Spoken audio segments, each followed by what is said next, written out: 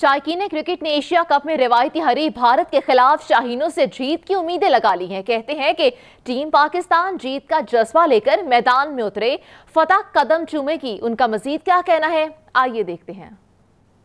को रहेंगे इस बारी भी? पिछली बार भी ये रहा था। जी मैं पाकिस्तान की टीम को सपोर्ट करूँगी और मेरा फेवरेट करेक्टर जो है वो बाबर आज़म है और हम लोग पक्का इंडिया को हराएँगे। मैं पाकिस्तान पाकिस्तान का मैच देखूँगी और इंशाल्लाह वो जीतेगा।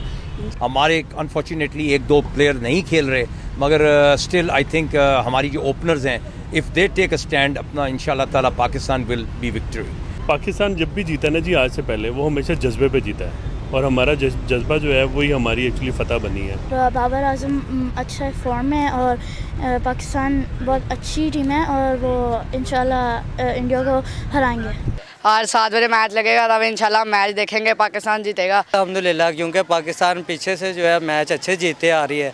उनका मैार जो है वो बुलंद है। प्लेयर जो है वो अच्छी सारे एफर्ट अच्छी कर रहे हैं। पाकिस्तान मैच जीतेगा बाबर आज़म की सेंचुरी होगी और रिजवान भी सेंचुरी करेगा। पाकिस्तान आ जाए पाकिस्तान को चाहिए कि इंडिया को हराए और क्या नाम है इस बार यह सनली अली भी अच्छी फील्डिंग करेगा और रिजवान भी अच्छी फील्डिंग करेगा और इंशाल्लाह हम पाकिस्तान जीतेंगे। पाकिस्तान पाकिस्तान और भारत के दरमियान होने वाला एशिया कप का मैच तो आज दुबई में